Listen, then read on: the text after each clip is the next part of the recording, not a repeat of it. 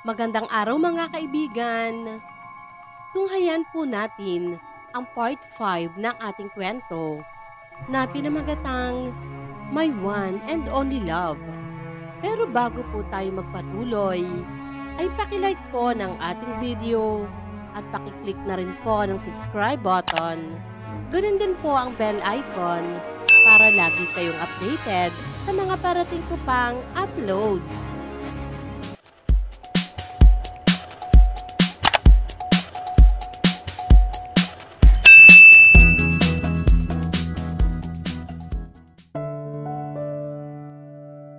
Masaya si Lani sa atensyon na ipinapakita sa kanya ni Mark at alam niya na sa pagkakataong ito ay magtatagumpay na siya na makuha ang pagmamahal ng binata.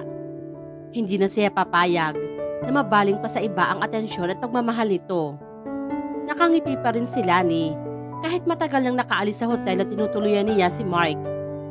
Medyo masakit pa rin ang kanyang ulo dahil sa hangover niya ng nakaraang gabi. Pero magaan ang loob na bumalik siya sa kama para doon magplano ng mga hakbang na dapat niyang gawin. Restless at distracted si Mark habang patungo sa kanyang opisina. At ang dahilan niyon ay walang iba kundi ang dalagang si Lani. The young girl who grew up to be a gorgeous lady. The child he had treated as his younger sister. Their baby girl was now a lady. The girl who had captured his heart, but whose heart he had to break because of some reasons. Aaminin niya na noon pa man ay hinahangaan na niya ito. Lalo na sa katatagan at kabuuan nito ng loob. Matapang nitong inamin ang nararamdaman nito noon sa kanya. Kahit na alam niya na pinagsasabihan ito ng kanyang kuya Michael. Minsan na rin pumasok sa isip niya na posible kayang mahulog din ang loob niya sa kanilang baby girl. But he knew it was out of the question. Off limits ito sa kanya. Dahil na rin sa kasunduan nila ni Michael. Noong teenager pa lamang sila. Seryoso ang kaibigan nang sabihin ito sa kanila ni Greg, lalo na sa kanya, na hindi nila pwedeng taluhin si Lani.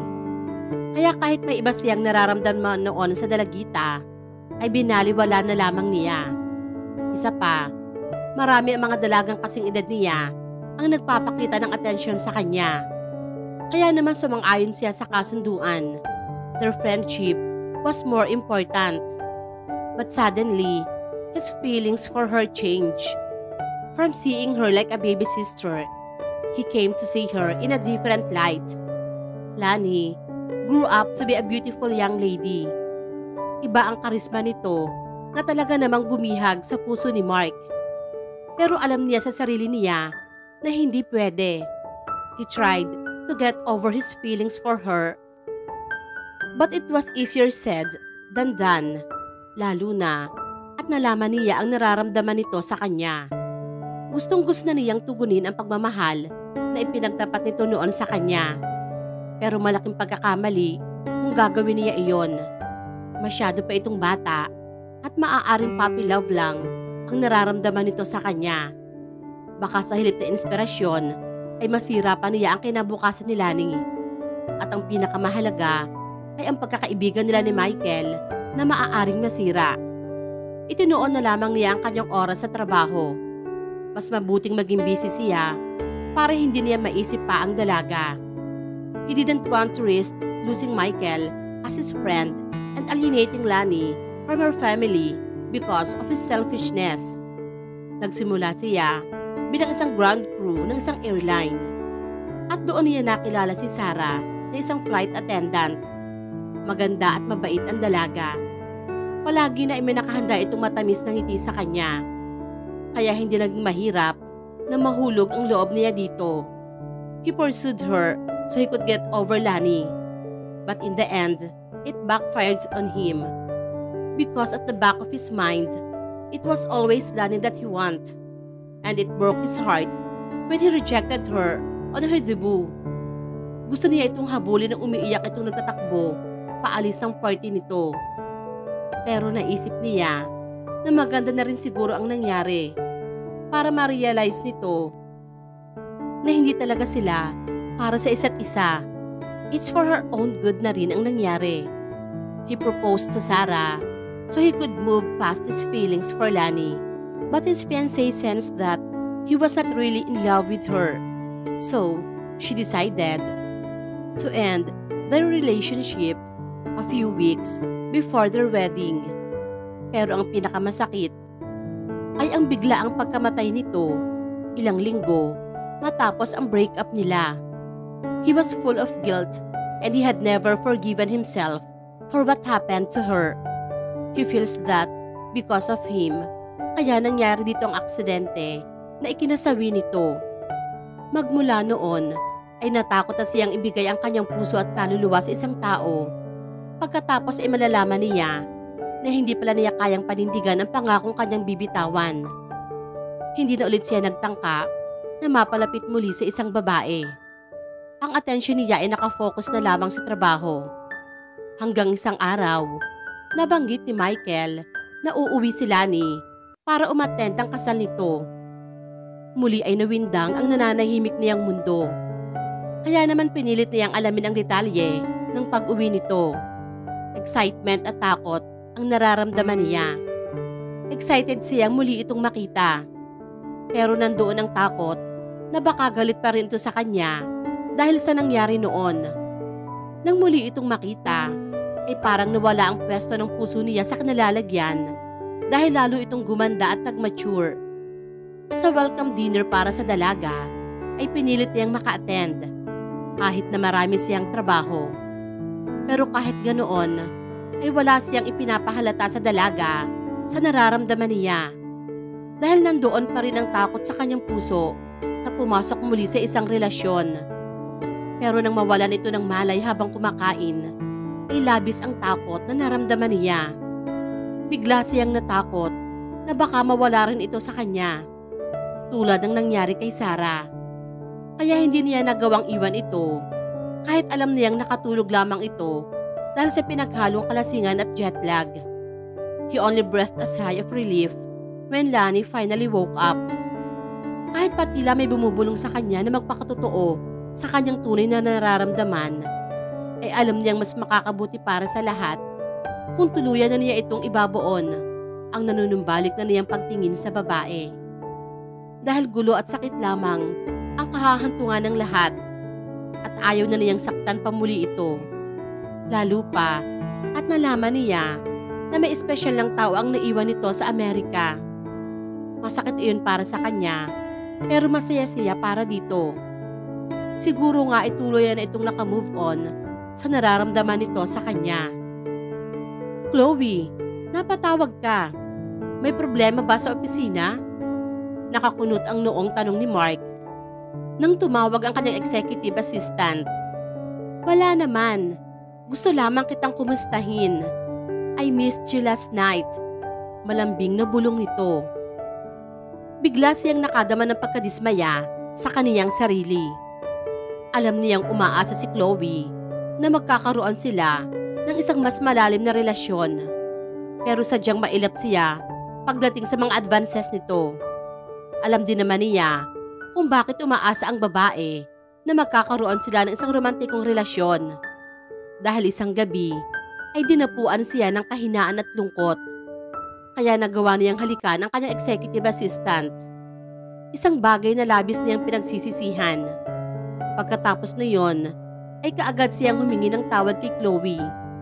Pero sinabi nito sa kanya na gusto rin nito ang nangyari. At isang salita lamang ni Mark ay papayag itong ibigay ang sarili nito sa kanya. Ayon pa sa dalaga, ay matagal na itong may gusto sa kanya. I'll be in the office later in the afternoon sa ngayon, ay dediretso na ako sa meeting ko kay Mr. Cruz. Formal ang sagot niya dito at kaagad na siyang nagpaalam sa babae. Pinatay na niya ang kanyang cellphone para hindi na siya tawagan ulit nito. Bigla ay sumakit ang kanyang ulo dahil sa pagiging makulit ni Chloe nitong mga nagdaang araw. Palagi na itumatawag ito sa kanya. Hindi na niya alam kung ano ang diskarte na kanyang gagawin para lubayan na siya nito. At iyon ang isang bagay na dumadagdag sa kanyang mga isipin. Ipinikit na lamang niya ang kanyang mga mata. Para sa isang lalaking mula ng balak pang makipagrelasyon, ay komplikado naman ang kanyang love life dahil sa dalawang babae sa kanyang buhay. Lani, kumusta na ang pakiramdam mo ngayon? You gave us a scare last night, lalo na si Mark. Sabi ni Sally nang sunduin siya nito sa hotel para sa gown fitting. Talaga bang nagpanik si Mark? Nakangiti na tanong niya sa kanyang magiging hipag. Ano sa tingin mo Ate Sally? May chance pa kaya kaming dalawa? Tanong ni Lani sa kausap. Hay nako Lani, itigil mo na nga yung iniisip mong yan. Hindi naman porket nataranta si Mark. Kagabi ay may ibig na sabihin yon. Don't put any malice into it. Paalaala nito sa kanya. Napasimangot naman si Lani. Bakit ba lahat na lang kayo ay kontrabida na magkagustuhan kaming dalawa? Wala namang masama kung mangyayari yon. Nasa right age na kaming dalawa and we're both single. Alam mo Lani, pinuprotektahan ka lang namin ng iyong kuya Michael. We only want what is the best for you. Ayaw ka lang namin na muling masaktan dahil sa kanya. Mahinahong paliwanag nito sa kanya. Napabuntong hininga naman si Lani. Bakit ganon? Sa una pa lang, ay tutol kayo sa aming dalawa na magkagustuhan. Kailan niyo ba ako bibigyan ng laya na ibigin si Mark? Si Sally naman ang napabuntong hininga. Lani, ayaw ko na sanang i-remind pa sa'yo. Pero nakalimutan mo na ba kung paano kanya ni-reject nung 18th birthday mo? Noon pa lamang ay pinakita niya na wala siyang gusto sa'yo. Pero ibang kaso iyon ate. I was young and naive and he thought that he was in love kay Sarah. But now, the wedding didn't push through. Hindi kaya ang ibig sabihin nun ay inilaan talaga si Mark para sa akin? Giit pa rin ng dalaga. Lani naman, huwag kang masyadong idealistic at romantic. Lani, life is not about rainbow and roses. Life is harsh at hindi laging masaya ang magmahal. It involves a lot of sacrifice and it takes two to make it work. Sana maunawaan mo ang ibig kong sabihin. Sabi nito sa kanya. I know all about sacrifice, Ate Sally. Remember, ang inakala ng lahat ay puppy love at infatuation lang ang nararamdaman ko para kay Mark. But look, after 12 years since I was 13, I have never loved anybody except him. Kung hindi true love ang tawag doon, ay hindi ko na alam ang tawag doon. Depensa ni Lani sa kanyang feelings. I admire you for holding to that feelings. But for love to work, it has to be mutual. Hindi pwedeng ikaw lang ang nakakaramdam ng sinasabi mong pagmamahal mo sa kanya. Kahit pa sabihin natin true love ang nararamdaman mo para sa kanya, kung hindi ka naman mahal ng taong mahal mo, ay hindi pa din matatawag na relasyon iyon. It's just unrequited love and it hurts like hell. Right, Lani? Tumango naman si Lani at bigla ay nalungkot. Nakuha niya ang gusto nitong iparating sa kanya. Ang sinasabi mo ba, Ate Sally, ay kahit kailan, ay hindi ako magagawang mahalin ni Mark? Naiiyak na tanong niya dito. Kaagad siya nitong niyakap. Let him go, Lani, and give Vincent a chance to win your heart.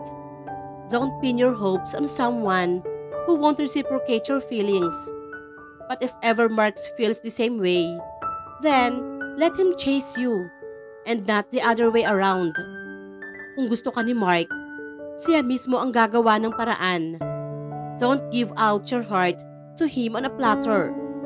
Keep your distance and time will tell if Mark will do something to win your heart. That's the ultimate test of love. Unless he does that, he's not worthy of your love. Yumakap ng mahigpit si Lani sa magiging hipag. Tama nga siguro ang sinasabi nito. Minsan na niyang isinugal ang kanyang puso at nabigo siya kay Mark. Siguro nga ay ang lalaki ang dapat gumawa ng paraan na mapalapit sa kanya. Kung sakali at matapos ang pananatili niya sa Maynila at wala siyang makitang effort galing dito, panahon na siguro para tuluyan na niya itong kalimutan. Paano magtatagpo ang damdamin ni na Mark at Lani? Gayong patuloy na sinisikil ni Mark ang nararamdaman niya para sa dalaga. At unti-unti namang nare-realize ni Lani na panahon na para pakawalan ang pagmamahal niya para sa binata. Halina at samahan po ninyo ako sa pagpapatuloy ng ating kwento sa mga susunod pang kabanata. Maraming salamat po. Ingat po tayong lahat.